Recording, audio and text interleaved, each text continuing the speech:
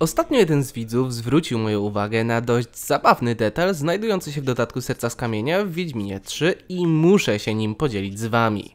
Podczas werbowania wspólników do skoku na dom aukcyjny trafimy na Kazimira, krasnoluda od kontrolowanych wybuchów.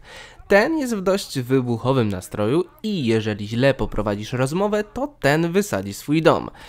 Jeśli mu w tym pomożemy kuszą bez zaczynania dialogu, to Geralt będzie się z nas nabijał. Posłuchajcie. Zły pomysł.